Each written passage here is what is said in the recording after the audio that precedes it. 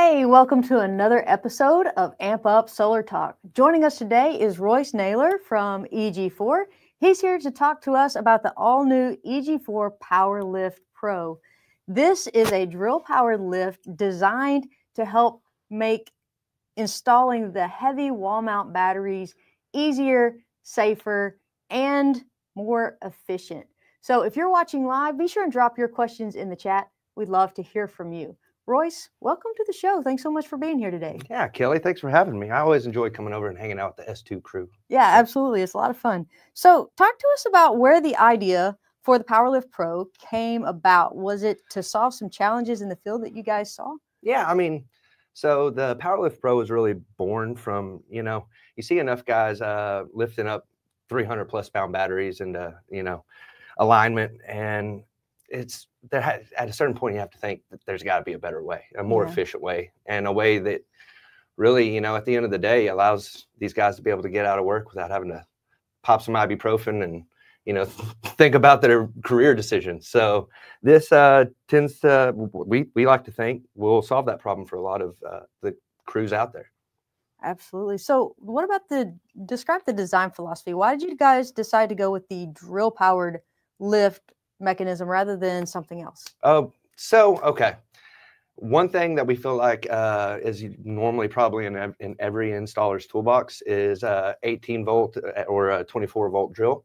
Mhm. And so with that, uh, we felt like the uh, um, uh, lead screw or um, uh, lift screw that is inside of here, uh, you, all you have to do is attach your drill here, uh, secure it, and um, depending on whether you're wanting to go up or down, uh, ups clockwise and downs counterclockwise, Mhm.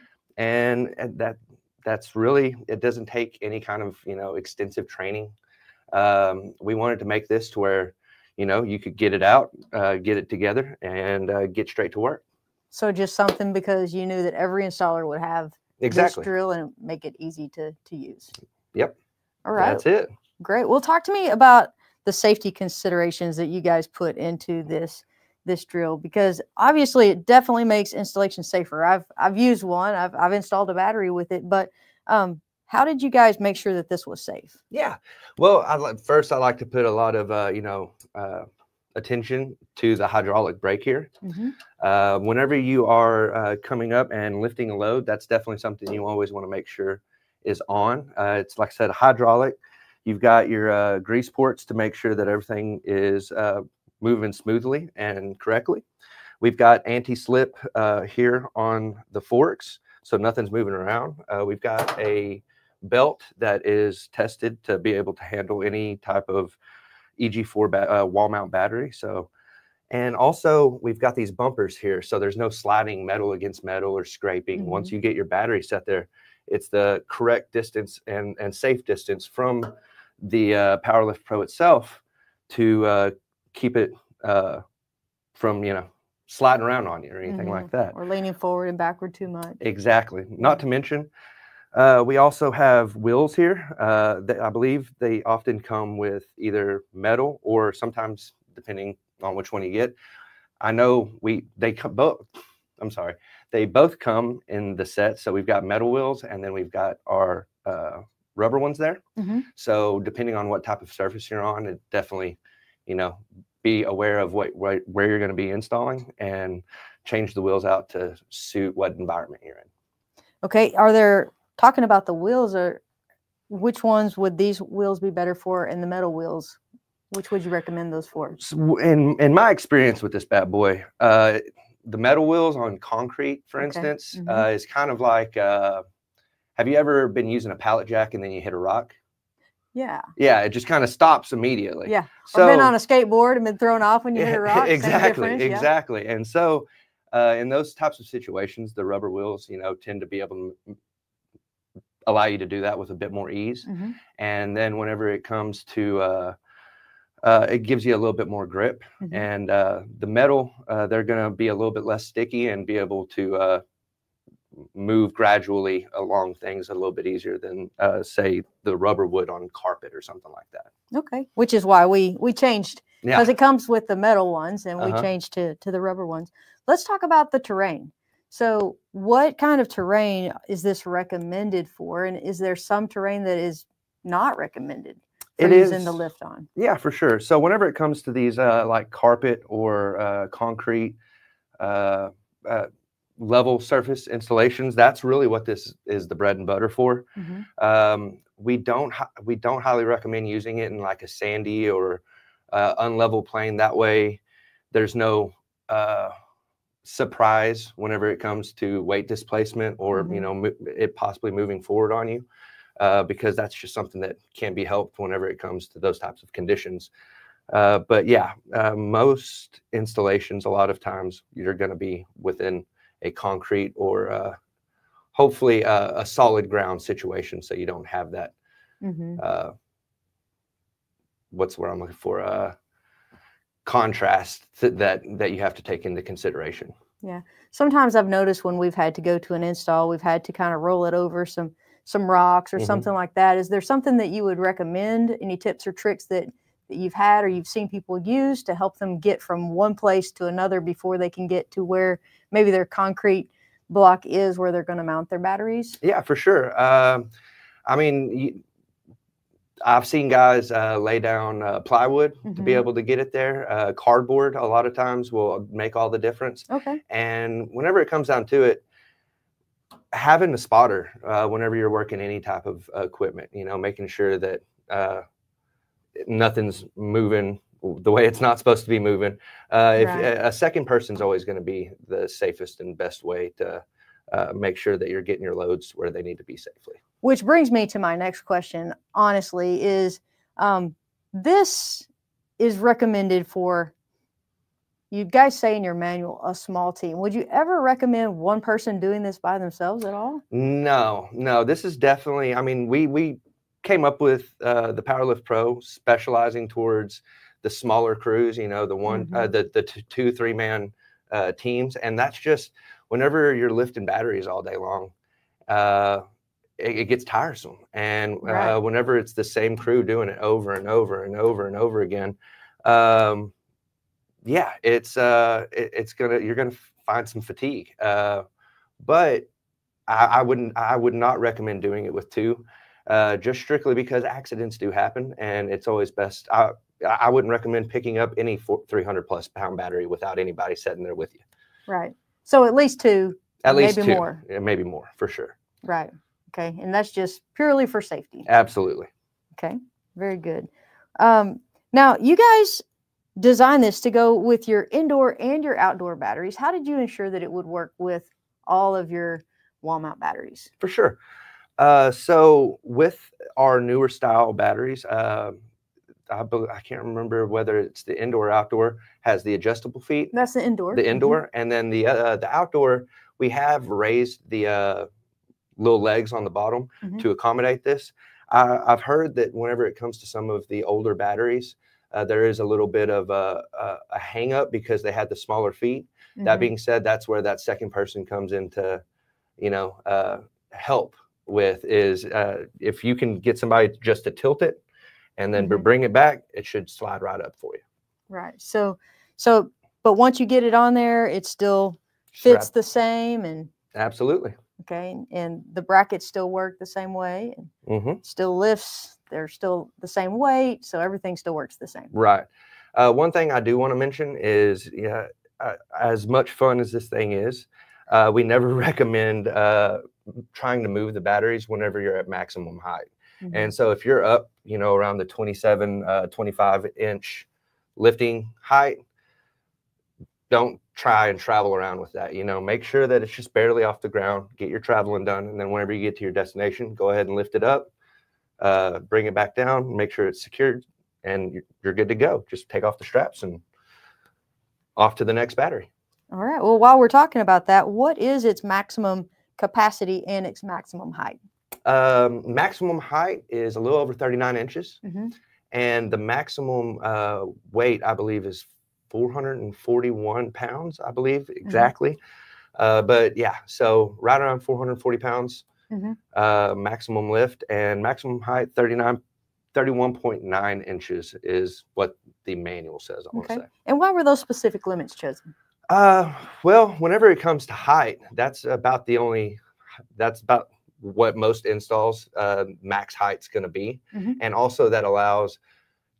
Uh, in a lot of cases, depending on the size of the vehicle that uh, the battery is getting uh, brought out of, that's about the height of a tailgate. So you Yeah. can you, you can lift this thing up, right up next to your tailgate, bring it up, slide your battery over onto it, bring it down, Mhm. And then you're not even having to unload it from the truck without hurting your back. Sounds like that was thought through very well.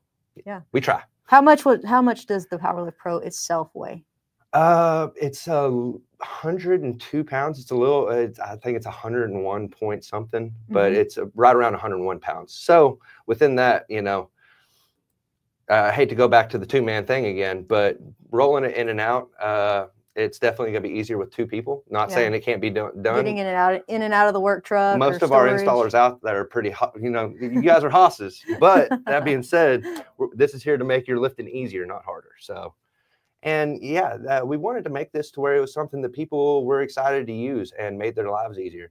Uh, and it wasn't just another piece of equipment that was, you know, left in the back of the installation truck gathering dust. So Yeah. that's that's really why we wanted to make this as easy for our installers to use and as effective as it can be. And so, yeah. Okay. We we do have a question here that says, can you manage steps? So can you take this thing up and down steps with a battery on it? Uh, I have not personally seen that done before.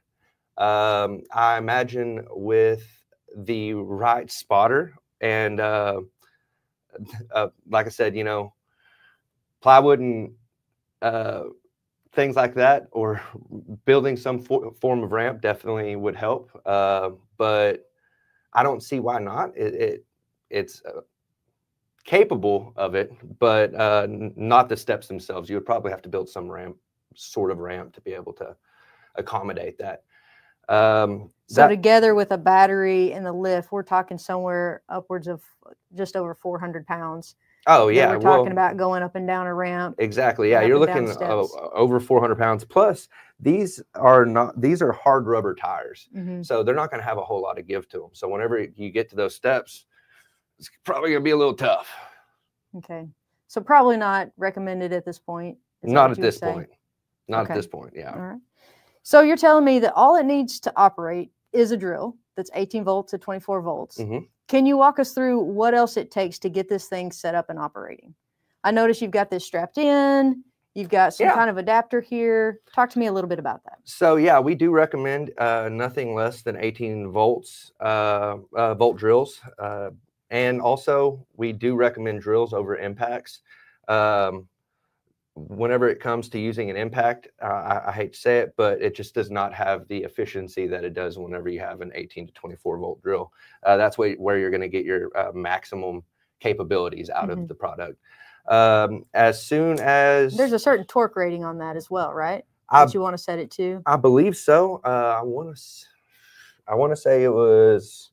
medium to low, yeah, right? Yeah, On your settings. yeah. It was. Uh, to be honest with you, uh, I, I tend to just make sure that it's not slipping on me, and that's about where I leave it at. You know. Okay. Uh, but once you get your drill on there and get it torqued correctly, uh, you definitely want to put this strap that comes on uh, with the PowerLift Pro on here, uh, just to make sure that your drill's not shifting on you.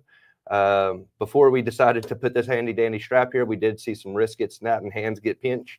Uh, so um, this right here is definitely something that needs to be paid attention to and utilized appropriately. And it comes with an adapter that will fit. Yes, 10 millimeter, 10 Okay. millimeter bit that'll come with it.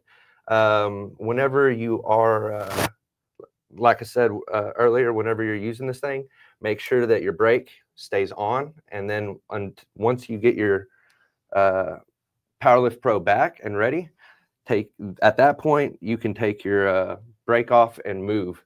But whenever you've got loads uh, on there and you go to pull back, I mean anybody that's lifted uh, up an object heavy uh, in, while moving or something, you know that those tires can slip on you and come out from underneath you. So make sure that your brake stays on and that you stay out from underneath the PowerLift Pro. All right. Great. Can we see Um, this thing lift up off the floor? Yeah, yeah. Uh, do you do you want to turn down your dials, brother? That way I don't blow you away. Um, this also has four different grease fittings in it. Uh, so whenever it's time, I believe that the maintenance on it is uh, every 250 lifts or annually. And so those four grease fittings, uh, grease them until you see grease coming back out, wipe the access away, and you're good to go. Mm-hmm. So, all right, here we go.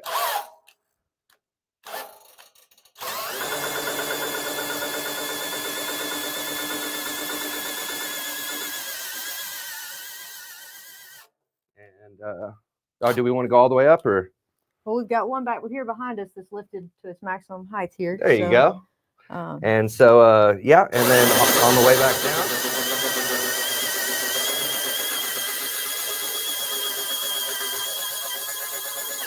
And if you if you notice, whenever I lift it up, there are stabilizer feet underneath the initial forks, so that you don't get that uh, weight displacement that mm-hmm. might you know cause it to move forward. Mm-hmm. Un- unless you are in like a sandy type area, then the forks might sink into the ground. But whenever you're on solid ground, uh, that'll definitely keep uh, the uh, PowerLift Pro from leaning forward on you. So that's when a plywood base or something more secure would be helpful there as well. Exactly. Uh, we do have another question from Adam DeLay, which also leads me to a question I had. He says um, a version that could help w- with installing inverters would be nice to have also. So, does EG4 have any plans for coming up with uh, an adapter for installing other things in the EG4 line, like Adam, you trying to get me in trouble? Other battery brands or other okay things within the EG4 line. I, I can't shed light on that, but I tell you what, uh, EG4 does have an excellent reputation of listening to its customers and trying to provide what you need to be successful. So I hope that best answers your question, Adam. uh, if that is something that you guys would like to see out in the field and would make your jobs easier, um, we we will be happy to uh, try and get something like of that sort uh, in the R and D room and start testing. Well, let me ask you this: with your um, beta testers and other people in the field that have had a chance to use this, what feedback have you heard from them? Uh, thank you. Yeah, uh, that's really uh, the main thing. Is you know nobody likes picking up those things over and over again, and with our wall mount battery becoming kind of the staple of uh, the types of batteries that most people are installing now. Uh, mm-hmm. You're seeing less rack battery systems and uh, more wall wall ba- battery projects. Mm-hmm. Um, with that, you know, uh, you, you're going to cut down on the amount of times that you're having to call in just because your back's sore. Or uh, uh, yeah. I, I know that everybody, you know, there are a lot of tough guys out there but we got to listen to our mamas and daddies whenever they said our backs won't last forever. That's and, right. Uh, and so uh, this is this is us trying to listen to your mom and daddies and give you something that's going to make you uh, successful in the field and also extend extend the length of your career. Absolutely, and it really looks like it's going to change the conversation on labor savings as well. Cut down on installation time and things like that. Oh, for sure. Yeah. Uh, you know, whenever you're able to just wheel it over there, get it to the exact same uh, right height, set it down on your bracket, and then move on to the next thing. You're cutting down on a lot of time just lugging things around. You know, uh, mm-hmm. that's going to give you an extra uh, project to two projects to three projects a week. So that's right. that time is money. That's right. Well, Royce, I really appreciate you being here today and sharing this with us. It really looks like it is going to um, just really make life a whole lot easier for solar installers everywhere. Absolutely. So I really appreciate that. So don't forget, you can check out the PowerLift Pro and other solar products at signaturesolar.com. Also, don't forget to subscribe and follow us on Facebook at Signature Solar US so you never miss an episode of Amp Up Solar Talk. We'll see you next time. Thanks, Kelly.